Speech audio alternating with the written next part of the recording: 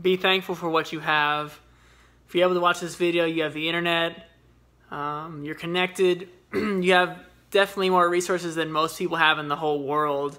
Most people live on dollars, they live on pennies, they just get by. Some people barely have enough food to eat. And um, it's just important to have those moments where we have, um, we feel angry, we feel sad, we feel like we don't have enough.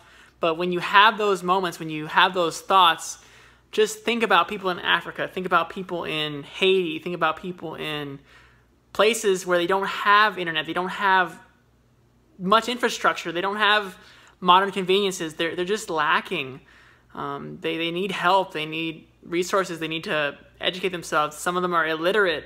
Uh, if you're if you can read, you have such an advantage. If you um, have enough food, if you if you just have the basics met, you have so much to be thankful for, and, and not just on Thanksgiving, but on every single day.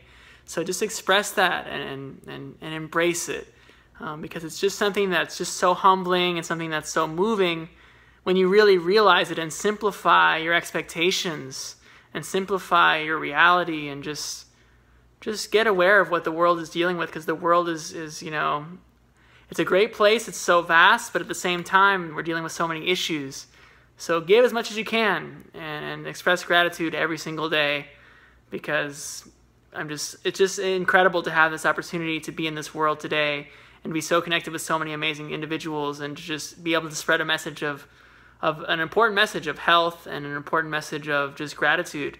So express that gratitude today. I'm so thankful for everything I have.